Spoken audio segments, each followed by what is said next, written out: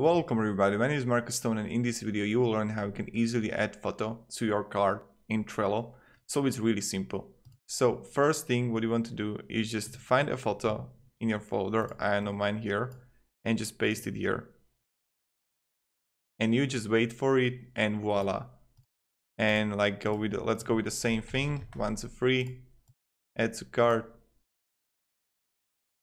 Like whenever it uh, name it photo click on it and you'll find here attachment. This is like the second way how you can do it. Attachment computer and let's find my photo again. That's me.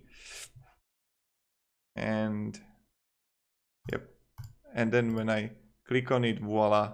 I was speaking on a some presentation. I had like really interesting points to show them.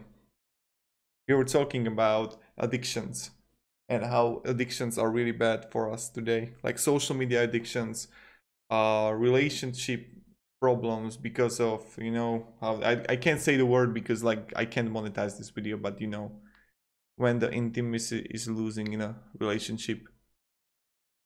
So that's kind of it. Thank you very much everybody for watching. Have a great day and see ya. Goodbye